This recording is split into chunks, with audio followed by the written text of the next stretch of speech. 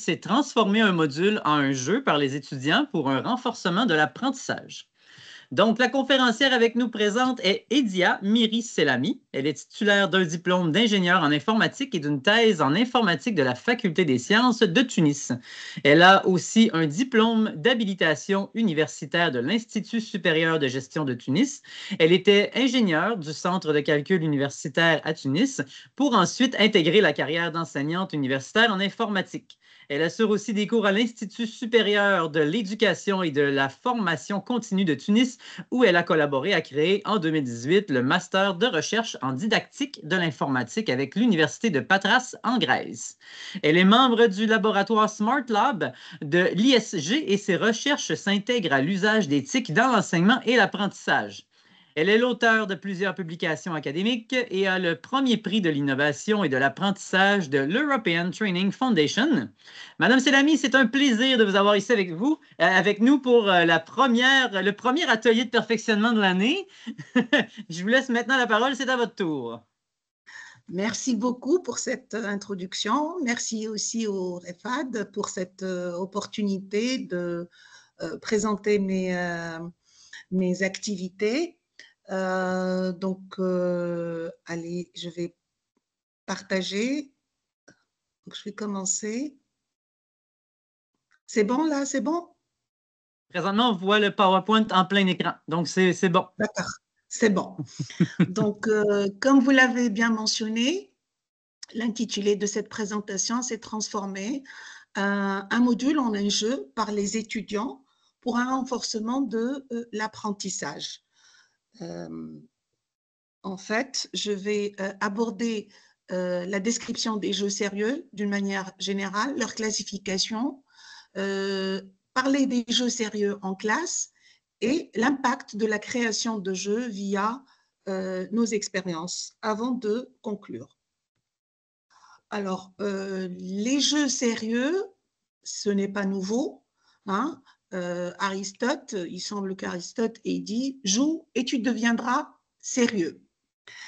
Euh, le concept, déjà en lui-même, il est issu d'un oxymore attribué aux humanistes italiens, euh, dans lequel serio ludere. Bon, je ne prononce pas bien l'italien, mais on, distingue déjà ces deux mots.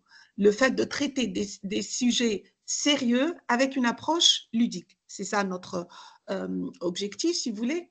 Et euh, si vous voulez, euh, là aussi, ces concepts de, jeu ont déjà été utilisés. Il semble qu'au 19e siècle, ça a déjà été utilisé par l'armée prussienne et britannique pour initier son corps ou ses, soldats pour les initier à, la guerre. D'ailleurs, il y a un jeu, C'est un jeu de pions développé par l'armée euh, prussienne pour enseigner les tactiques de, combat.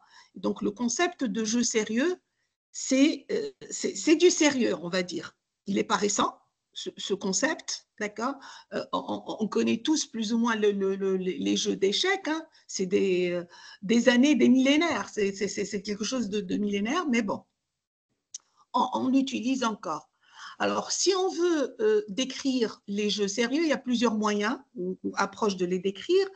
Euh, on va présenter celle dans laquelle un jeu sérieux est présenté comme tout jeu, dont la finalité première est autre que le simple divertissement.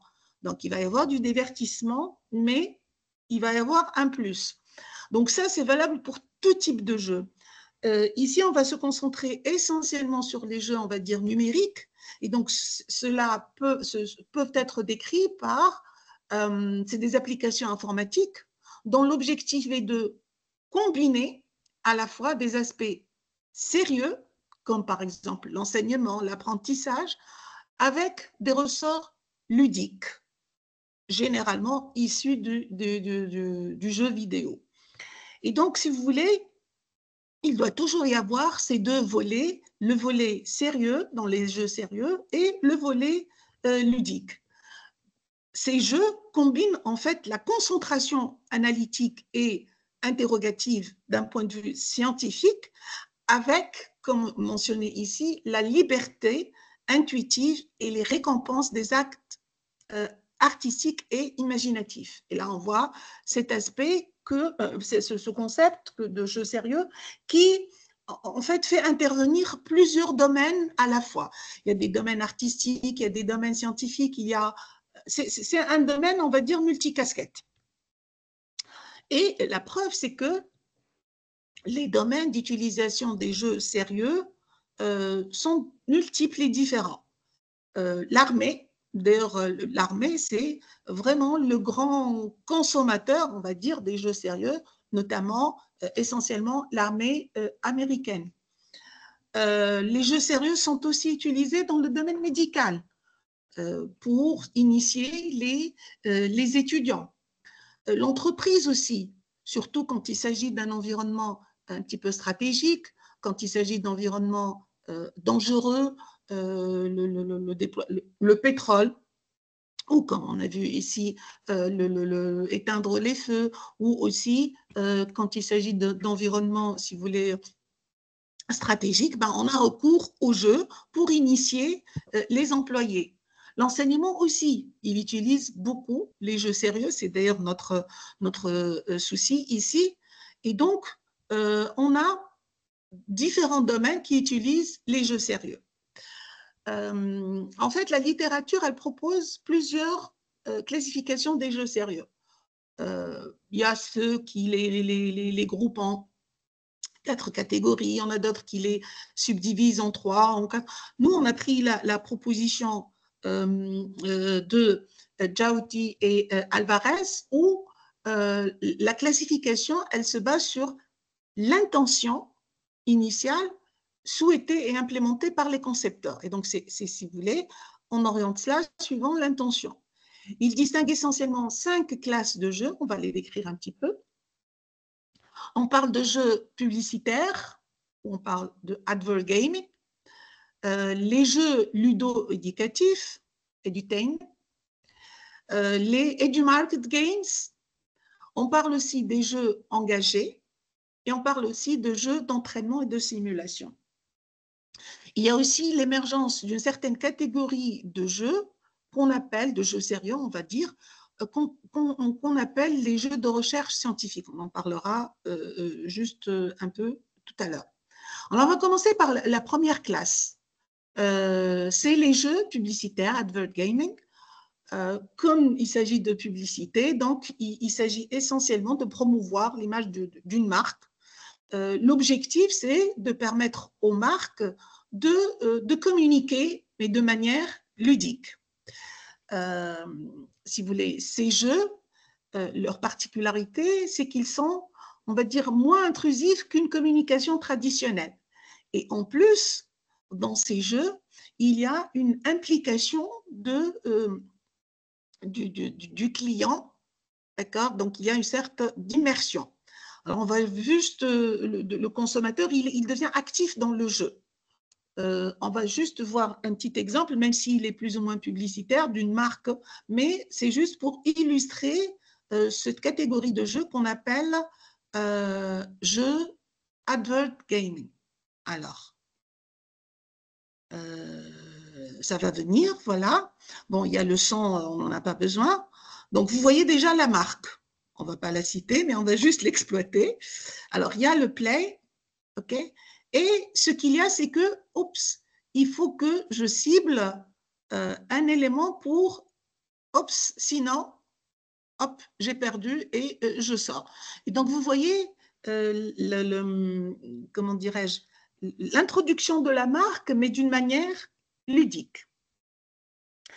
Il y a aussi, euh, euh, bon là c'est un jeu qui est accessible, euh, certains jeux publicitaires ou d'advert gaming sont accessibles gratuitement, mais il y en a d'autres qui, si vous voulez, exigent un abonnement ou un paiement pour les utiliser.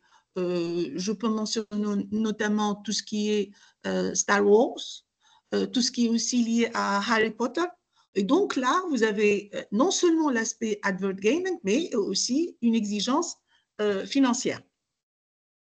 Il y a aussi certaines marques qui euh, ont intégré leurs produits à certains jeux vidéo, très souvent des jeux qui sont accessibles. Alors, il y a les Sims. Et donc, quand on est dans un environnement Sims, on peut se voir ou on peut se trouver euh, euh, dans une situation où on achète un produit. Par exemple, il y a des cas où on voit l'ordinateur Intel. D'accord? Donc euh, là, c'est une manière détournée de, faire de la publicité. Mais ça n'empêche qu'on est dans le, la catégorie des advert gaming. Les jeux ludo-éducatifs. Alors, ce sont des jeux dont l'objectif peut être de développer des compétences par l'intermédiaire d'un jeu. Donc, une amélioration de compétences. On va voir juste euh, euh, deux petits exemples. Alors, vous avez ce jeu. C'est d'ailleurs un jeu canadien. Alors, et vous voyez que, euh, hop, il va commencer. Et vous voyez quand je change de couleur, vous voyez la, la différence au niveau de son déroulement. Alors, euh, là, dans ce jeu, il y a plusieurs phases. D'accord? Euh, Moi, je montre juste cette, phase, mais il y a plusieurs étapes, il y a plusieurs, euh, si vous voulez, volets. C'est un petit peu ce qu'on nous a initié quand on était à l'école primaire ou secondaire, la, composition des jeux, pardon, la composition des couleurs, qu'est-ce que ça vous donne, etc. Ben là, vous le voyez via un jeu. Euh, un autre exemple, c'est euh, Blockly Game. Alors, Blockly Game, c'est un jeu euh, qui propose plusieurs, si vous voulez, compétences. Alors, je vais juste prendre un exemple. Vous voyez, il y a plusieurs jeux. Vous pouvez les tester après, mais je vais prendre ce puzzle. Alors, donc, il explique l'objectif de ce jeu. Dans ce jeu, vous allez devoir faire correspondre euh, les images et les caractéristiques de ces animaux. Alors euh, là, euh, en fait, en, jouant, j'ai appris des choses même.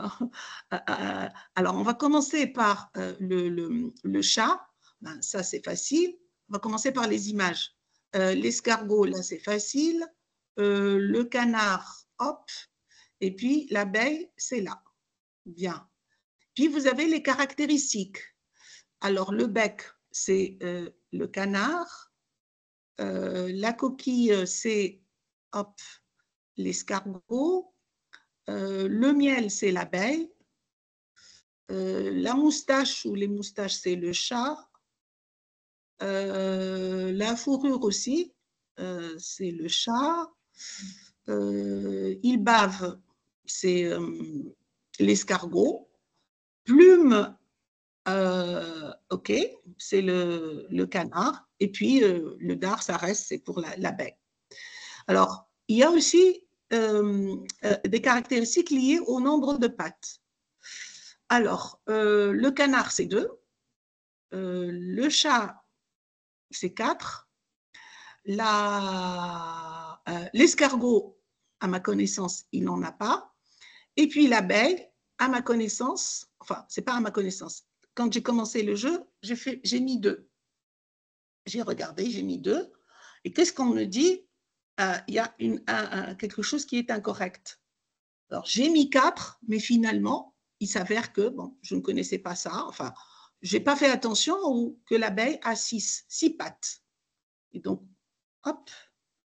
Et euh, vous avez, j'ai réussi, j'ai appris des choses, d'accord, euh, via ce jeu les autres jeux aussi euh, euh, euh, vont dans cette orientation. Et donc, vous avez ici ce qu'on a dit tout à l'heure, les jeux ludo-éducatifs permettent de développer des compétences.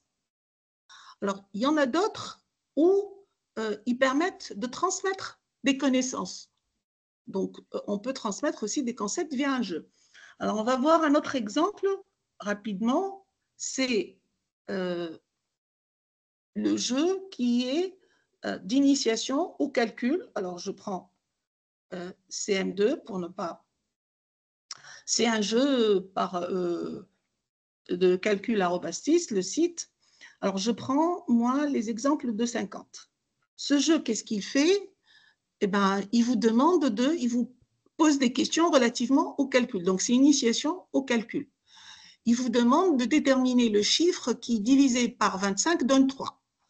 Alors, je, me débrouille relativement bien en calcul. Donc, OK. Je vais à la suite.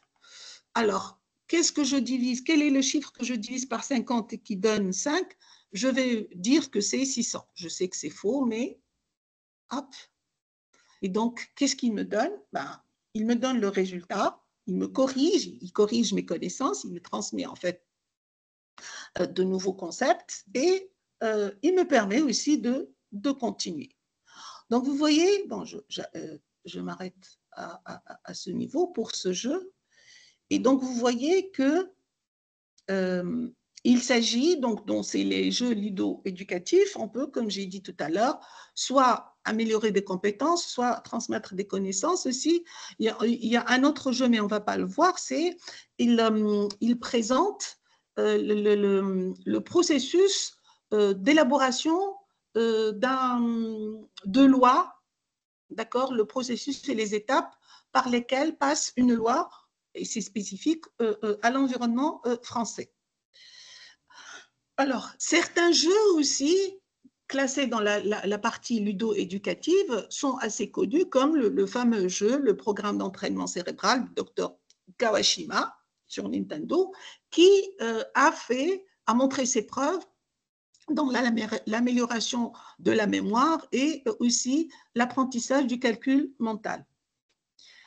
Alors, euh, il y a le troisième, la troisième catégorie est du market gain, qui peut aussi être labellisé comme pédago-mercatique. Alors pourquoi? Parce que en fait, euh, on utilise les jeux pour sensibiliser euh, ou aussi transmettre des, euh, des messages. on va rapidement voir un exemple par, dans ce jeu. Ce jeu, il est lié, voilà, il propose le tri sélectif de manière ludique. Donc, je joue, je commence.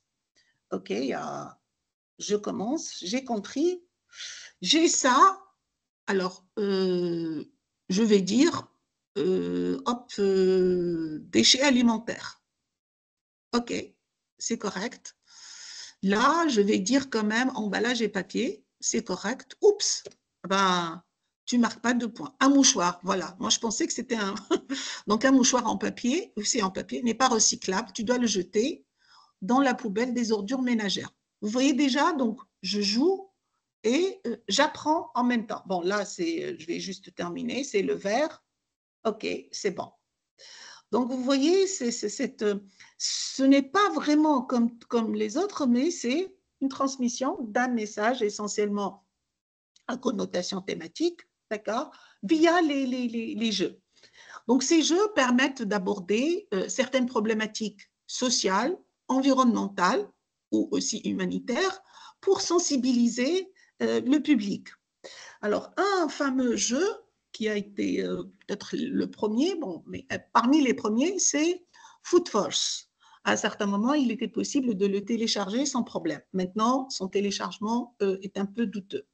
C'est un jeu derrière lequel il y a les Nations Unies et l'objectif, c'est de sensibiliser les, jeunes euh, pour les sensibiliser à, au problème de la migration et au problème de la faim. Donc, le joueur, il incarne un personnage euh, qui a dans un environnement euh, où il y a, si vous voulez, une guerre, et donc il y a un flux migratoire. Et l'idée, c'est de distribuer des rations alimentaires à ces migrants éparpillés un petit peu sur un, territoire. Et vous voyez que la, personne principale de ce jeu, elle a à sa disposition euh, un avion, euh, des ressources alimentaires qu'elle doit subdiviser et mettre dans l'avion pour les diffuser euh, à, cette communauté. Il y a aussi d'autres types dans ces, ces, ces market game. C'est des jeux dédiés à la stratégie de communication. Euh, on, donc on utilise ces jeux, euh, mais euh, on, fait aussi un petit peu de la publicité. Là, c'est un exemple, c'est EDF, une entreprise française responsable de, l'électricité en France et qui essaie de transmettre un message, on va dire, écologique via ce jeu. Donc, l'électricité, ça s'apprend, hop, je vais jouer, je vais choisir un personnage de joueur et là, on voit les questions. En 60 ans, qu'a fait la consommation d'énergie pendant que la population doublait euh, Elle a doublé, elle a triplé, elle a été multipliée. Moi, je vais dire, elle a triplé. Bon, euh, là, j'apprends. La deuxième, euh, qu'est-il conseillé d'éteindre quand on aère une pièce en été? La lumière, la climatisation, ces appareils électriques. on va dire la climatisation, bravo. D'accord? Donc, vous voyez, je, termine par cette question. Comment appelle-t-on une source d'énergie naturelle et inépuisable? Une énergie douce, une énergie renouvelable, une énergie fossile. On va dire une énergie renouvelable. D'accord?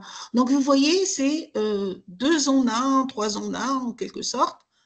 Euh, de la pub, c'est pour ça qu'on parle du market gains, un message, euh, si vous voulez, spécifique, tout cela en jouant. Alors, la quatrième catégorie de jeux, c'est les jeux engagés. Euh, si vous voulez, ils portent parfois des, messages contestataires, politiques, etc. Mais bon, euh, ils sont un petit peu euh, particuliers.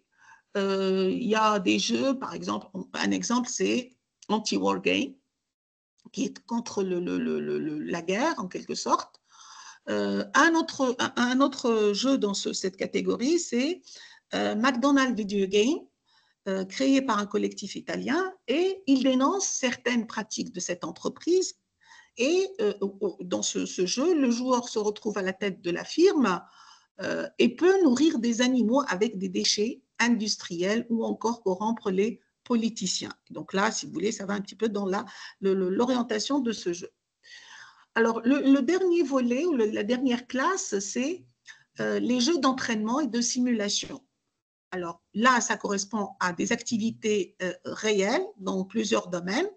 Euh, ils permettent, si vous voulez, de reproduire des fonctionnements de système. On connaît très bien les simulateurs euh, de vol, si vous voulez, les, simulateurs de, conduite de, voitures, etc. Alors on trouve aussi, on les trouve aussi dans le domaine médical, dans le domaine de, défense. Ce sont des jeux de simulation. Le dernier volet, qui, est plus ou moins récent, c'est les jeux de recherche scientifique, mais qui sont généralement utilisés par une communauté bien euh, spécifique de, chercheurs qui, contribuent à résoudre certaines problématiques de, pointe.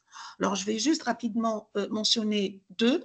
Euh, Foldit, c'est un jeu qui a été créé par l'Université de Washington et il permet aux joueurs de représenter des protéines en trois dimensions en réalisant euh, des puzzles et euh, il a, ce jeu, notamment, il a permis de décoder des structures tridimensionnelles d'une protéine hein, qu'il ne soupçonnait pas. Un autre jeu que je vais euh, juste rapidement... c'est un jeu créé par l'université de McGill, c'est une université canadienne. Alors, on ne va pas le voir, ce jeu, c'est juste pour vous, vous, montrer un petit peu son, déroulement, d'accord? Donc, Solve Puzzle and Have Genetic Disease Resolve.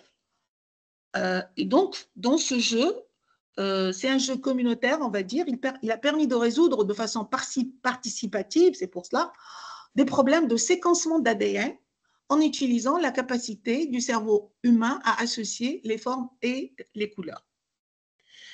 Alors, le dernier, on va dire, classe qui n'est pas vraiment euh, spécifié, c'est ce qu'on appelle les board games, c'est les jeux de société ou les jeux de table.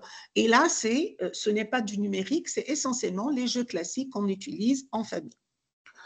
Alors, le troisième volet, c'est euh, qui nous intéresse, c'est les jeux en classe. Alors, ils, offrent beaucoup d'avantages, plusieurs avantages. primo, la motivation des apprenants. Euh, l'apprentissage aussi par essai-erreur, celui, celui qui a peur de montrer ses erreurs, euh, ben, il peut, euh, quand il est face à un jeu, répéter cela à plusieurs reprises jusqu'à acquérir les compétences nécessaires. La prise en compte aussi de différents rythmes d'apprentissage et la simulation d'interaction pédagogique entre élèves.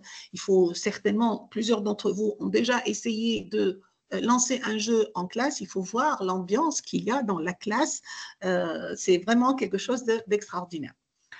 Cependant, ces, jeux sérieux ont certaines limites. Parfois, on utilise des jeux qui ne sont pas vraiment pertinents pour notre objectif pédagogique. Euh, aussi, même si nous faisons un effort en tant qu'enseignants, le problème, c'est que les efforts ne sont pas dans notre dû ou dans notre charge. Euh, et donc et prendre un jeu dans en classe, euh, ça prend beaucoup de temps, d'accord? Euh, Et en plus, on a toujours ces contraintes matérielles et logistiques liées à, à l'environnement. Alors, maintenant, pour intégrer un jeu dans sa classe, on peut citer essentiellement trois approches.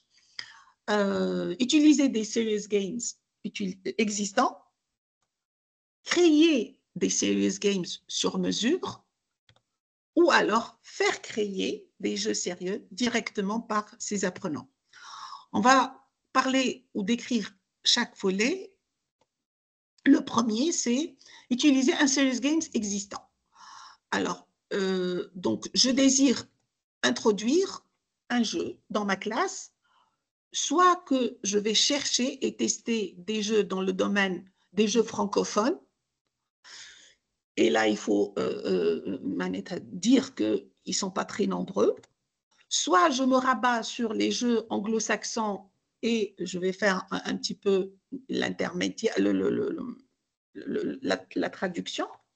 Soit aussi, je vais utiliser euh, d'autres jeux, d'autres jeux euh, qui ne, ne sont pas tout à fait adéquats avec mon objectif pédagogique, mais je peux les introduire parce qu'ils répondent en partie à euh, mes objectifs. Ou alors, euh, si vous voulez, euh, les dévier un petit peu de leur objectif initial pour les adapter à mon besoin. Vous avez ici un, jeu, Stop Disaster Game, qui est essentiellement utilisé dans tout ce qui est aménagement de territoire, etc. On va le lancer. Alors, ce jeu peut s'adapter à un cours d'initiation aux catastrophes, à, l'environnement, euh, à l'impact, si vous voulez, de l'environnement, etc. L'idée, c'est quoi? C'est que vous êtes face à un tsunami. Vous avez un certain budget, donc je vais prendre juste l'option, la première option, et on vous guide. Vous êtes responsable de cette communauté, de ce, ce, village, et euh, vous devez prendre des décisions pour protéger les habitants, pour aussi euh, euh, euh, penser à les héberger, penser à construire aussi dans cet environnement. et vous avez, bien sûr, vous devez aussi prendre en compte les contraintes de tsunami, les contraintes environnementales. Et vous avez votre budget. Et donc, c'est à vous de décider. Par exemple, je, prends, je vois ici la possibilité de, allez, je vais prendre là, voilà. Donc, si je me mets là, j'ai la possibilité soit de créer un arbre, de, planter, pardon, soit par exemple de construire. Alors je vais dire, je vais planter un arbre, 7% de l'art, hop, vous avez une réduction de votre budget. Euh, si je prends ici, par exemple, hop, euh, je vais dire, euh, à cet endroit, qu'est-ce que je peux faire? Je vais dire, je vais construire.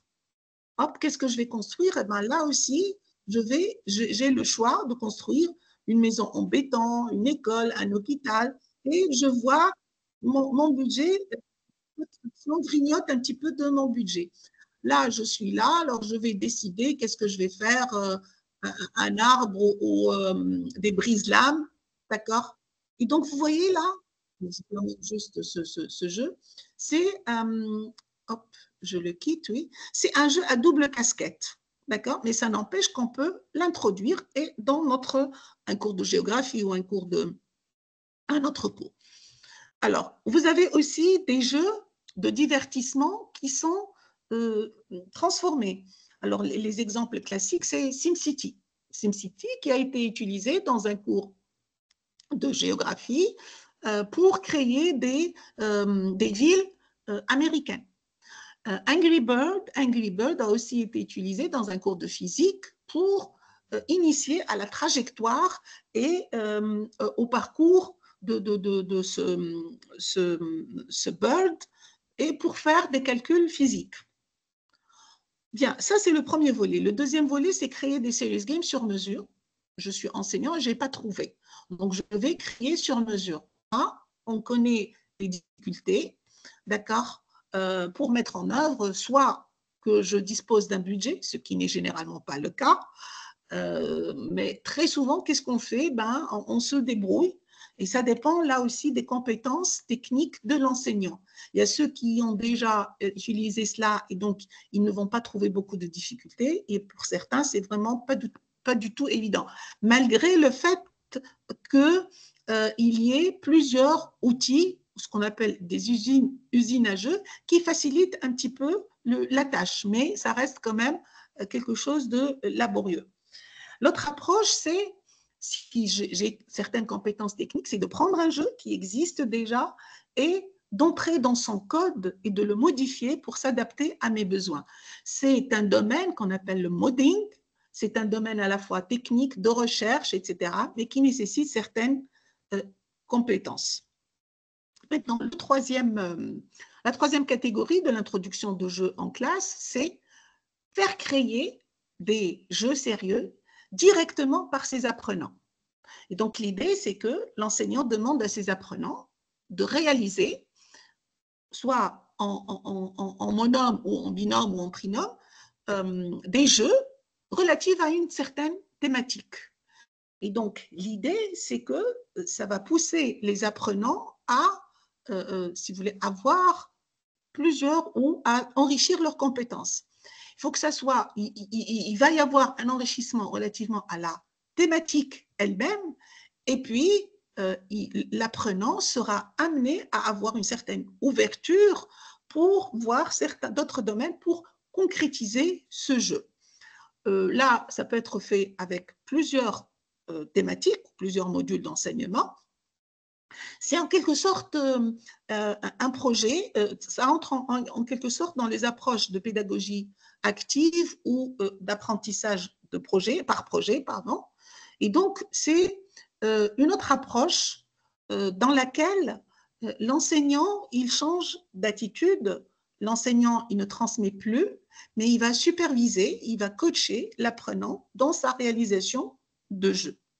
Il y a même eu des concours euh, pour, euh, entre les élèves, entre les étudiants, concernant la réalisation de, de ces jeux. Alors, un exemple de cela, c'est un exemple, même si ça a été fait, ça a été fait par le professeur Kaffel aux USA, même si c'était en, en 94, mais vraiment, il est il reste toujours d'actualité. Et c'est elle, c'est, elle est pionnière dans cette orientation de création de jeux par les apprenants pour le renforcement des, compétences. Et donc l'idée, c'était quoi? C'était de demander à des élèves de CM1 de réaliser un jeu vidéo permettant l'apprentissage du concept mathématique de fraction, mais qui était destiné aux élèves du C2, CE2. Et donc l'idée, c'est créer des jeux pour cela par ces élèves. Pour cela, on leur a attribué des ordinateurs et une initiation au langage de programmation Logo. C'est pour ça que j'ai dit, c'est en 94 déjà, c'était... Euh. Et donc, et comme toute expérimentation, on va dire, dans le domaine pédagogique, il y a eu à la fois un groupe de contrôle et un groupe test pour mesurer l'effet. Et euh, euh a, constaté que les élèves qui ont réalisé ces, jeux, euh, ils ont une maîtrise, une meilleure maîtrise du concept de fraction. C'est tout à fait normal puisqu'ils ont dû revoir cela à plusieurs reprises. Et euh, ils, peuvent même explorer, comme c'est mentionné, plus profondément les différents modes de représentation de ces fractions que chercher de plus. Euh, donc cette approche, qu'elle elle, laisse en plus euh, une grande part de la créativité, la créativité et l'innovation des, apprenants, puisque chacun va réaliser son propre jeu. Et si vous voulez, elle a vu, si vous voulez, des, réalisations assez intéressantes. Elle a conclu qu'en plus de l'effet bénéfique sur l'apprentissage, il y a le groupe qui a réalisé un Serious Games s'avère être euh, euh, celui qui maîtrise le mieux le langage de logo. Donc, en plus de la maîtrise de ce concept, il y a des ajouts de compétences. Donc, juste, je vois que je n'ai plus beaucoup de temps. Donc, la création de jeux vidéo, d'accord, indique que euh, il y a, si vous voulez, une motivation des apprenants et un effet immédiat sur leurs compétences.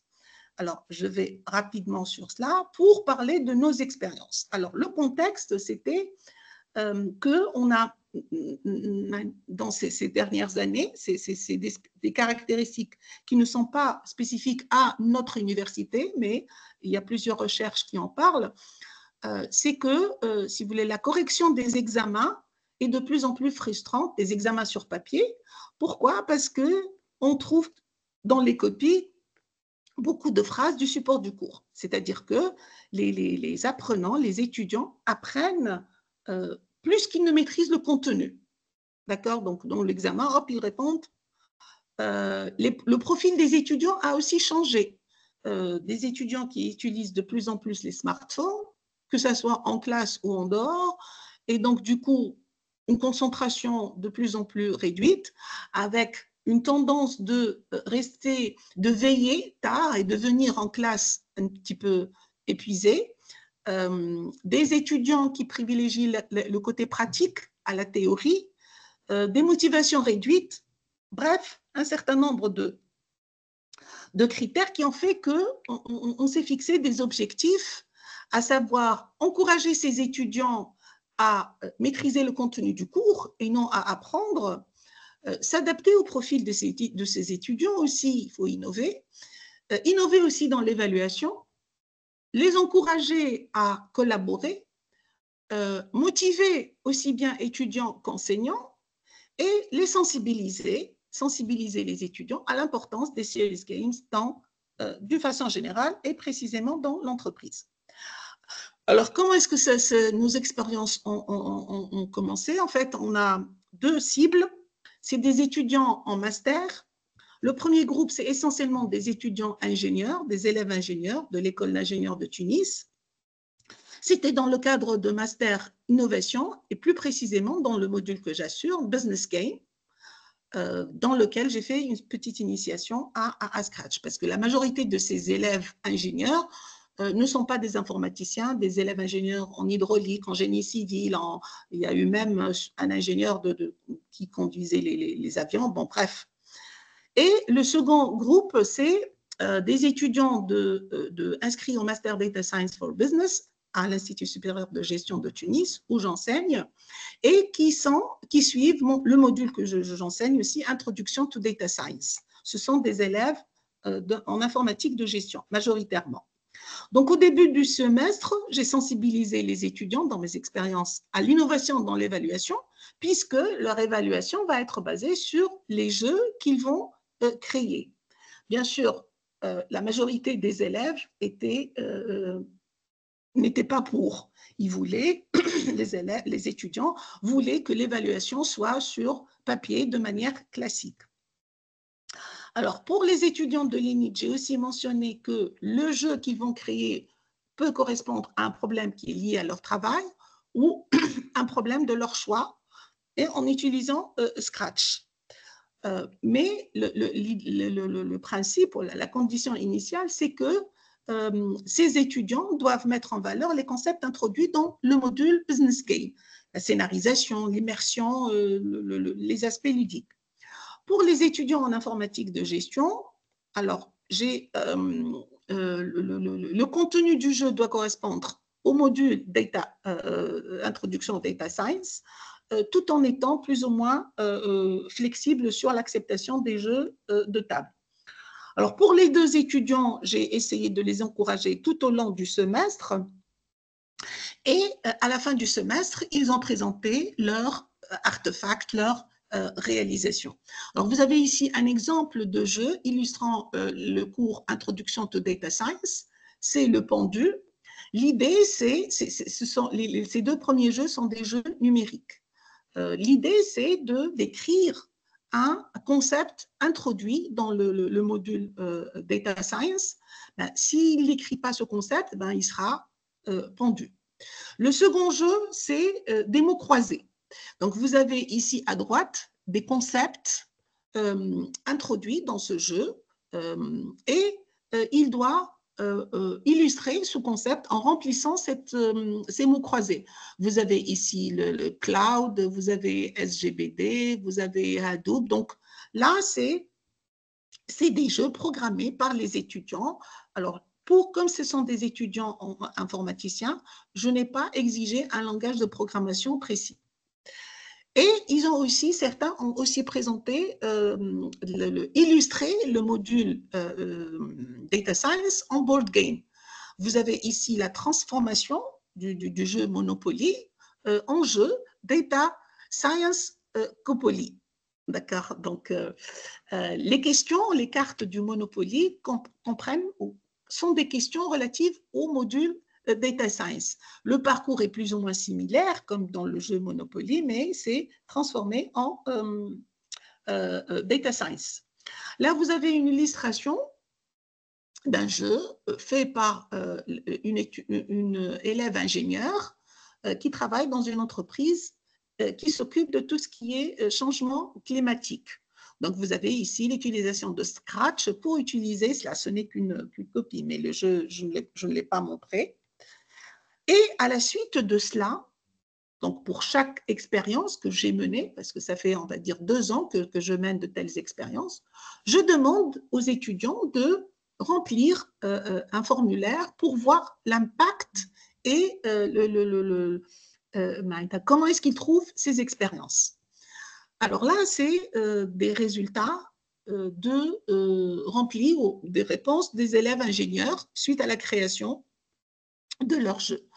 vous voyez ici, la création de jeux nous amène à réviser le contenu du cours. Là, c'est 70% des étudiants, 78%. La création de jeux peut être utilisée dans d'autres modules. C'est-à-dire qu'ils ont non seulement apprécié, mais ils demandent à l'étendre aux autres modules. Et là, c'est 100% des étudiants. Euh, ici, euh, j'approuve aussi, ils approuvent l'évaluation, que l'évaluation soit faite par la création de jeux. Euh, vous avez ici 78%. même malgré le fait que la majorité de ces étudiants, vous voyez 77%, ignoraient déjà ce concept de jeu sérieux avant le cours, ils ont adhéré à, à cela et ils ont même euh, euh, certains, 85% d'entre eux, ont mentionné que la création de jeux permet de mettre en valeur des détails que je n'ai pas abordés avant. Leur majorité, euh, la création de jeux permet de réfléchir aux problèmes que j'ai abordés dans mon travail et ils, projettent de sensibiliser leur hiérarchie et de, parler à, à leurs collègues ou d'initier leurs collègues à ce concept à savoir les serious games, mais pour illustrer une problématique liée à leur travail. Euh, j'ai aussi, euh, si vous voulez, l'année dernière élaboré euh, cette, cette, approche où j'ai demandé à mes étudiants de créer des jeux, aussi bien avec des élèves ingénieurs que les élèves informaticiens. Et malgré la disparité de leur profil, ben, une appréciation des impacts de, de, de, de la création de jeux vous avez ici, il mentionne que cette création euh, leur a, les a poussés à réviser le cours à plusieurs reprises. Ils, ils ont aussi euh, euh, mentionné que c'est la, création les a motivés dès le début du semestre, et donc on a, si vous voulez, atteint certains de nos objectifs. certes, ils mentionnent tous les deux que ça prend plus de temps pour réviser euh, quand il s'agit d'examen papier classique, bah, ça ne prend pas autant de temps que pour créer et pour réviser euh, pour la création d'un jeu. Mais malgré cela, euh, il, il, il, demande que ça continue et que ça soit étendu à d'autres modules. Et, il mentionne explicitement qu'ils ont révisé, révisé pardon, le cours à plusieurs reprises pour euh, créer ce, ce jeu. C'est plus ou moins normal. Pour scénariser, il faut vraiment maîtriser. Alors, juste pour conclure, euh, on a des disparités de profil, mais un consensus sur l'impact de la création de jeux, ses impacts positifs, meilleure révision de cours, maîtrise du contenu du cours, euh, plus exigeant en temps, là ils l'ont tous dit, mais malgré cela, euh, ils demandent, comme on a dit tout à l'heure, à l'étendre à d'autres modules. Euh, alors, une forte motivation aussi des étudiants pour réaliser le, jeu, une appréciation de se voir évaluer via les jeux, d'accord? Même si, comme on l'a dit tout à l'heure, c'est plus exigeant en, temps. Euh, ce fut pour certains l'opportunité d'échanger, de, discuter. Et euh, euh, si vous voulez, même si au début, les non-informaticiens, surtout avec les, étudiants ingénieurs, il y a eu certaines réticences, on n'est pas informaticien, etc., etc. Mais avec Scratch, on est quand même arrivé à nos, nos objectifs. Euh, on a fait quelques séances d'initiation à Scratch et euh, ils ont bien, apprécié. Malgré le fait que, si vous voulez, mouche malgré, mais sur un autre volet, euh, les étudiants informaticiens, ils ont demandé que de parce que j'ai fait ça à plusieurs reprises. Dans une expérience, ils ont demandé, euh, dans une expérience, j'ai demandé à ce qu'ils travaillent avec Scratch, mais euh, euh, à la fin, ils ont demandé de les laisser libres, encore une fois, pour utiliser un environnement beaucoup plus performant. Et donc, globalement, on a répondu à nos, objectifs de départ, à savoir le renforcement de l'apprentissage et des compétences des apprenants via la création de jeux sérieux par les apprenants, on a continué à refaire et à lancer cette expérience euh, euh, l'année dernière au deuxième semestre avec des étudiants en licence informatique. Et là, vous avez un petit peu la transformation de jeux. Hein. là, je montre juste des exemples de jeux euh, board game. Comment les étudiants, soit en transformant des board games, soit en créant aussi des board games relatifs à leur module, les rois, qui est introduction au, Big Data, The Big Data Journey. Là, vous voyez aussi, ils ont donné des titres euh, de, tout seul. Alors, euh, à la fin, je voudrais donc vous remercier et euh, vous dire que on continue quand même hein, toujours à, à, jouer pour, pour apprendre. bien, donc je ne sais pas si je suis dans les délais ou oui, ça va. Merci. Ça va. Oui, oui. merci pour euh, le partage d'informations. C'était très intéressant. Euh, s'il y a des gens là, qui sont avec nous, on, voit des, applaudissements dans. C'est le fun. Hein? oui, donc s'il y a des gens qui voudraient euh, donner des commentaires ou poser des questions, il nous reste quand même quelques minutes encore. Donc, je vous invite tout simplement à lever la main, prendre la parole ou vous pouvez écrire aussi dans le clavardage votre question.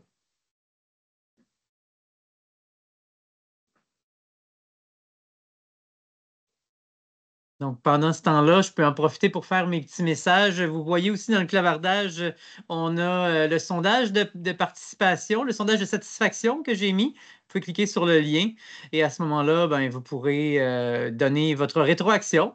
C'est toujours pertinent pour nous de, la lire. Et euh, aussi, ben, je profite de l'occasion, bien sûr, ben, ah, on a des merci. Merci pour, pour cette présentation de la part de Chantal. Donc, euh, bien sûr, oui, merci. Merci à vous aussi, hein, les participants qui étaient là aujourd'hui euh, pour votre présence. Oui, j'allais justement mentionner ça. Euh, Caroline, on va avoir accès au PowerPoint et aussi à l'enregistrement de l'atelier d'aujourd'hui. Tout ça va être déposé sur notre page YouTube. Vous avez tous les liens pour, ben, vers les ateliers de perfectionnement, mais aussi pour la, rediffusion, pour y accéder par la suite sur notre site web au www.refad.ca. Donc, vous avez tout ça euh, aussi, d'ailleurs, euh, le prochain atelier, il est dans deux semaines. Ce sera M. Hubert Lalonde qui va l'animer. Euh, et il s'agira de l'Espace Innova, un centre de recherche, de formation et d'expérimentation en technopédagogie. Donc, ne manquez pas ça, c'est dans deux semaines. Je vais regarder s'il y en a des questions. Encore des remerciements, des merci beaucoup. Donc, bon, c'est bien, les gens semblent avoir apprécié. Donc, c'est la, dernière chance. Si vous avez des questions, euh, je vous laisse y aller. Ah, quand un quiz cesse d'être un simple quiz et devient un jeu?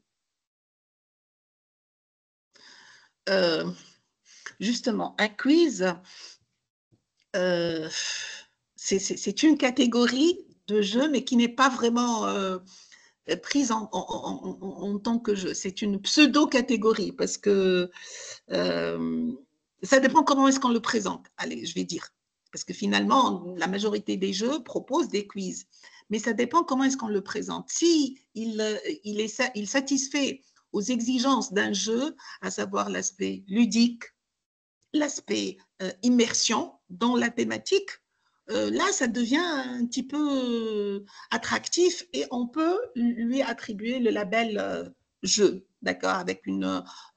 c'est vraiment l'aspect ludique qui, qui, va le, mettre dans la catégorie. Mais un simple quiz, vraiment, c'est un quiz. D'ailleurs, là, je, merci pour la question parce que en demandant à mes étudiants de créer des jeux et en spécifiant les critères d'évaluation, le premier critère, c'est que un, jeu qui est uniquement un quiz ne va pas être bien noté.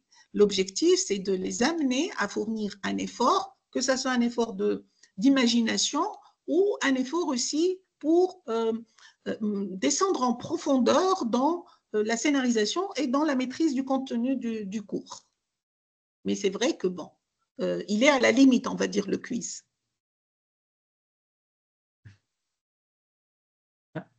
Je vois qu'il y a d'autres euh, commentaires ou questions. Euh, dans vos recherches, avez-vous remarqué des caractéristiques de jeux sérieux qui évitent le piège de la motivation extrinsèque? Euh, oui. en fait, là, merci encore pour cette question.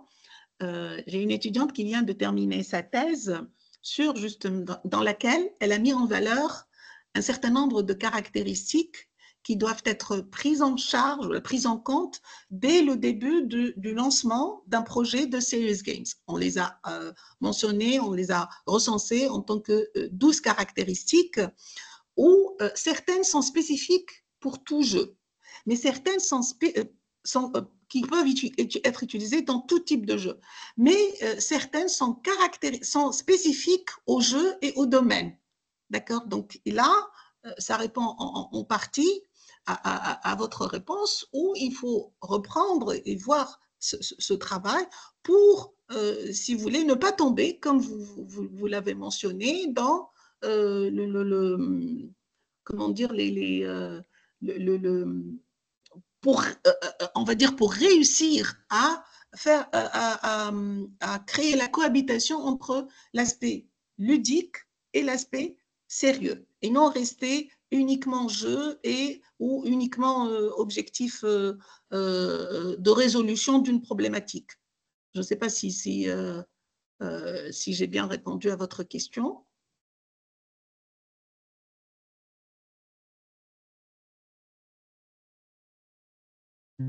Je crois que oui. En tout cas, la personne, M. Brien, je crois. oui, ah, répond oui. Si vous pouviez m'envoyer la thèse, si possible. Euh, ok, euh, je la mettrai dans, dans la référence. Euh, mm-hmm. Elle a déjà deux, un, papier dans un journal relatif au, software design et deux conférences. Alors, bon, ils sont actuellement pas encore dans le domaine du open, mais si vous me communiquez votre mail, je peux vous envoyer cela à titre individuel. Euh, et de toute façon, je peux vous envoyer déjà l'URL du, euh, du journal. D'accord? C'est bien. Sinon, de le mettre, comme vous avez dit, en référence, euh, ça peut être intéressant. Euh, ou sinon, monsieur, euh, c'est M. Brien, je crois, qui veut. vous pouvez communiquer avec moi au, ben, à info.refad.ca, puis on s'assurera de pouvoir faire le lien pour ça ici. il y a une autre question qui est, qui est apparue des stratégies spécifiques à la formation à distance des adultes via les jeux sérieux. Quoi mettre en avant? Oui, justement. C'est un petit peu comme euh, l'enseignement à distance. Il y a, on va dire, l'andragogie, d'accord, qui est l'approche pédagogique pour l'élaboration de, de, de, de formations, pas uniquement à distance, mais la formation d'adultes. Alors, il y a certaines personnes qui, qui, ont commencé à travailler sur les jeux pour euh, les adultes. Il est vrai que ce n'est pas, ça, on va dire entre côtes, ça court pas les rues. Pourquoi? Parce que les spécialistes du domaine se sont essentiellement focalisés sur les jeunes et les moins jeunes. Euh, mais on commence à, ou, alors le côté industriel. Et là, euh, on a des adultes, mais ce n'est pas vraiment euh, les adultes classiques, c'est ciblé par thématique de travail, etc.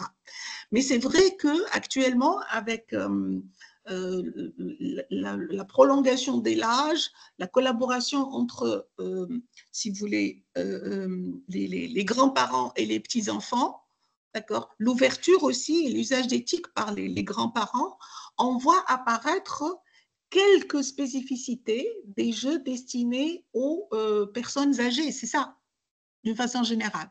Mais c'est pas vraiment la grande, c'est pas vraiment une thématique qui, qui est très très abordée. Euh, par contre, il y a un ou deux essais dans lesquels euh, euh, les chercheurs ont essayé de travailler sur Scratch, puisque Scratch, c'est à la fois pour les jeunes et, comme j'ai dit tout à l'heure, la collaboration des adultes ou des, grands-parents dans le, suivi de leurs petits-enfants. Il y a eu une ou deux tentatives, il me semble que j'ai vu, qui essaient de l'initiation de Scratch aux personnes aux personnes âgées. Hein, c'est ça, euh, formation à distance des adultes. Pour la formation aux adultes. Ah, des adultes d'une façon générale. Euh, alors, justement, euh, là, vous posez une autre problématique qui est l'insertion ou, formation à distance et jeu. Alors, très souvent, les formations à distance euh, euh, incluent dans leur scénario des jeux qui existent déjà. C'est vrai que généralement, ces jeux sont normalement bien sélectionnés, suivant les critères, etc., etc. Mais euh, on, une formation complète à distance par les jeux, c'est pas, c'est une, formation, on va dire, ciblée, beaucoup plus qu'une formation globale. D'accord? Mais euh, je, vais peut-être euh, parler d'un autre volet de recherche qui est actuellement de, plus en plus euh, utilisé. Voilà, on est en train d'investir dans ce volet de recherche. Qui est, pardon, les jeux avec des scénarios adaptatifs. Et là, on voit l'impact de l'IA. Donc, avec des scénarios adaptatifs en fonction de l'évolution du joueur dans le jeu. C'est-à-dire qu'on a, d'habitude, il y a euh, un jeu qui propose deux ou trois stratégies suivant le questionnement initial du joueur. Est-ce que vous êtes débutant? Est-ce que vous voulez cela? Est-ce que et on vous propose telle ou telle stratégie. Actuellement, la recherche s'oriente vers ben, je vous laisse jouer et euh, j'essaie d'adapter le scénario de jeu et la progression du jeu en fonction de vos résultats, en fonction de vos choix, etc. Et donc là, derrière cela, en, back-office, il y a des approches euh, d'IA qui sont euh, utilisées. Super, je crois que ça répond bien à la question. 13h04 euh, ici, ça serait pas mal le, temps de terminer l'atelier. donc, pour ceux qui sont arrivés un petit peu plus tard là, ou dans le milieu de l'atelier, euh, ça va tout être déposé sur notre site web www.refad.ca au cours des prochains jours. Vous allez avoir le lien pour euh, accéder à la rediffusion ainsi que la, présentation, le, PowerPoint. Donc, euh, surveillez, surveillez, notre site web, puis vous allez pouvoir revoir tout ça. Et d'ailleurs, tous les anciens ateliers aussi du REFAD qui sont également disponible pour être consulté en, rediffusion comme ça. Donc, sur ce, je vous remercie beaucoup pour votre présence. On va arrêter l'atelier d'aujourd'hui. Je vous invite au prochain atelier dans deux semaines. Puis, merci beaucoup. C'était la première fois sur Teams. On a bien fait ça, je pense. merci, à vous. Merci. une bonne journée aussi. Merci, au revoir. Au revoir.